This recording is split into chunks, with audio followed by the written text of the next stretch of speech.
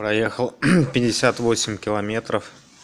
Как вы видите, я очень плохо выгляжу, потому что я не рассчитал дистанцию. Это для меня перебор. Да, не верьте этим всяким, кто ведет видеодневники на сайте youtube.com, то что 100 километров можно проехать без подготовки. Полная неправда, на мой взгляд, если, конечно, человек не тренированный. Подготовка должна быть капитальной. Я проехал 58 километров с передышками. Мне кажется, я сейчас умру. Смотрите это видео, значит я не умер. И доехал. Но мне еще ехать 8 километров. Не знаю, как я буду ехать. Я сижу непонятно где. Ну, значит, понятно, где-то тут карьер какой-то, что ли, любит. Карьер, я так понимаю, любится. СНТ любится или или как, или подчеркивано. В общем, неважно. В общем, я ужасно устал. Повлияло то, что я выступал на соревнованиях и, наверное, не восстановился, потом еще занимался, еще.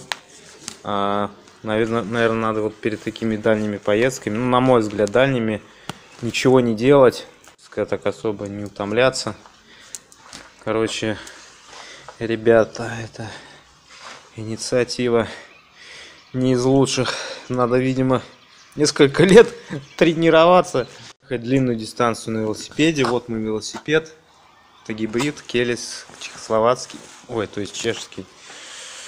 Ну, в общем, чувствую себя отвратительно, несмотря на то, что брал брал, сделал самодельный изотонический спортивный напиток, брал также чай с сахаром, также питание, также заходил в пятерочки там купил конфет немного с арахисом.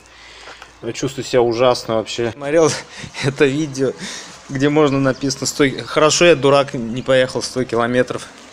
Тогда, ну я еще не знаю, доеду ли и размещу ли это видео. А, не верьте, это не я. Никогда не верьте э, тем, вот как это по-английски будет, блогер, вот эти, они как бы такое, ну, снимают вот ради просмотров и прочего.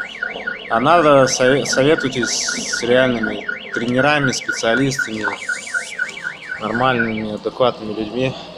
Не повторяйте моих ошибок. Ладно, поеду дальше. А что делать? Надо ехать дальше, потому что я уже начал замерзать. И уже поздно, мне еще завтра по делам ехать рано утром. Ну, не рано утром, но, в общем, плюс сейчас там э, всякие это такой своеобразный экстрим, вот так на дальнюю дистанцию ехать, понятно куда. Поэтому, блин, это ужас вообще, зачем? Вот я как мог повестись, да, вот на это все насмотрелся, вот это все наслушался.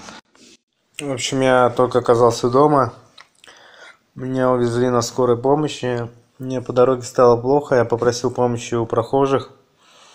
Они мне помогли, вызвали скорую, принесли воды, я попросил. В общем, мне дали таблетку, диагностировали, не могли снять кардиограмму, потому что меня трясло всего.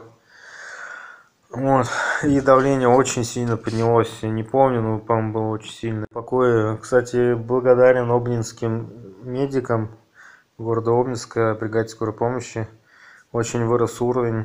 Ничего не ругались, не, не, не обзывали, что я якобы там какой-нибудь. Так вот я докатился, доигрался с этими я ехал по трекеру, там теперь три рекорда. Ну, в общем, блин, это все опасно так. Выступал бегун на 9 мая, тоже какая-то акция спортивная, там бег 30 километров. Какой-то бывший военный, по-моему, что-то такое. Сказал, что они мне сказали, что не могли сахару в норму, то есть он попал вообще в реанимацию, не могли у него сахар ну, это, вывести. То есть это прям на полном серьезе, это все не шутки, такие нагрузки. Давление поднялось и адреналин, видимо, тоже. То есть мышцы сжимались, разжимались, меня трясло. А, кружилась голова, там все плыло, прям плыл, плыл, плыл. Какой-то там вообще страшные вещи какие-то. Врачи мне сказали, что это все очень серьезно, что это ну, пипец, это можно на всю жизнь стать инвалидом или типа того. Диабет сахарный или, или этот э, сердечная недостаточность, наверное, тоже. Ну вот, вот такие дела, вот так вот я решился. Если сколько там, 30-40 километров, я уже понял, что я выдохся весь. Но, тем не менее, поехал, что надо было доехать до города. Ехать, там останавливался много раз. Потом еще ехал. А потом вот прям вообще плохо-плохо стало. Прям, прям так плохо, что капец, когда уже, уже был в Обнинске. Понял, что не могу идти, не могу двигаться. Какие-то запахи появились э, во рту, в носу.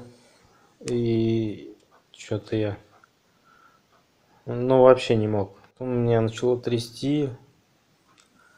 Потом вот после этого я просил помощи, там кого видел. Дошла женщина и парень. Э, он бегом, по-моему, занимается или занимался. Он побежал мне воды, принес молочек, красавец вообще парень. Ау там сидел, трясся, фигово было. Вот стал чуть получше, но привезли примерно покой, меня там опять затрясло. Вот, уже не так, может, сильно. После укола вообще так более-менее. Ну, прям шатало немного, вот. Довезла на машине меня моя мама. Спасибо ей. Что скорой помощи настояли, позвонить маме. Вот.